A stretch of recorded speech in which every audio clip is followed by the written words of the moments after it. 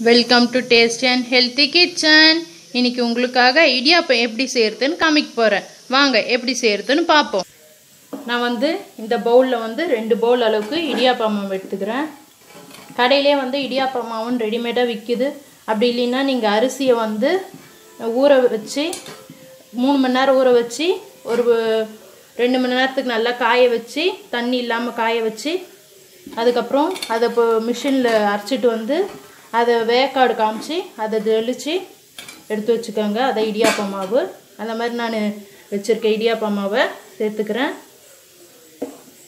ஒரே ஒரு சிட்டிக்கை உப்பு சேர்த்துக்கோங்க.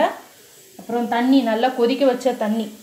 அதை வந்து கொஞ்சம் கொஞ்சமாக சேர்த்து கலருங்க. தண்ணி சுடு தண்ணின்றதுனால ஒரு கரண்டியை வச்சு கலருங்க. இல்லைன்னா மத்து பருப்பு கடையிற மத்து வச்சு நல்லா மாவை வந்து நல்லா பெசிங்க. மாவை வந்து நல்லா இந்த மாதிரி பிசைஞ்சு வச்சுக்கோங்க. ரொம்ப தண்ணியாக இல்லாமல் அதே மாதிரி ரொம்ப கட்டியாக இல்லாதமல் நல்லா பிசைஞ்சு வச்சுக்கோங்க.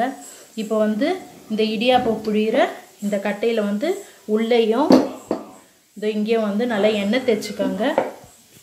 இட்லி குண்டானில் ஒரு சொம்பு தண்ணி ஊற்றி ஒரு பத்து நிமிஷத்துக்கு முன்னாடி தண்ணி கொதிக்கிற மாதிரி வைங்க.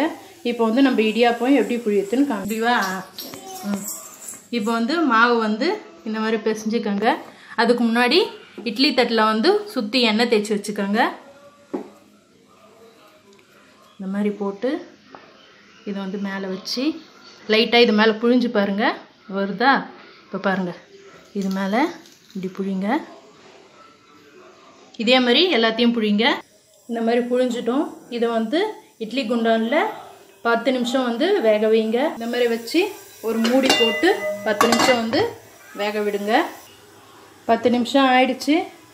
இப்போ எடுத்து இந்த மாதிரி சும்மா லைட்டாக தொட்டு பாருங்கள் கையில் ஒட்டலினா வந்து வெந்துருச்சுன்னு அர்த்தம். இப்போ வந்து நம்ம அடுப்பை இருக்கணும்னு சொல்லிட்டு சொல்கிறேன் இந்த மூளையில் வந்து கைப்பிடி மாதிரி இருக்கும். அதை பிடிச்சி ஒரு பிளேட்டில் இந்த மாதிரி திருப்பி போட்டிங்கன்னா எல்லாம் வந்துடும் இதோ உங்களுக்காக டேஸ்டியான இடியாப்பம் ரெடி ஆயிடுச்சு. டேஸ்ட் பண்ணி பாருங்கள் பிடிச்சிருந்தா நம்ம சேனலை சப்ஸ்கிரைப் பண்ணுங்கள் லைக் பண்ணுங்கள் கமெண்ட் பண்ணுங்கள் ஷேர் பண்ணுங்கள்